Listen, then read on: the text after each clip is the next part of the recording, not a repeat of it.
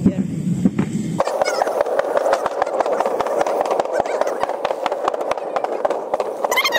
Please be patient during this uh, road crossing.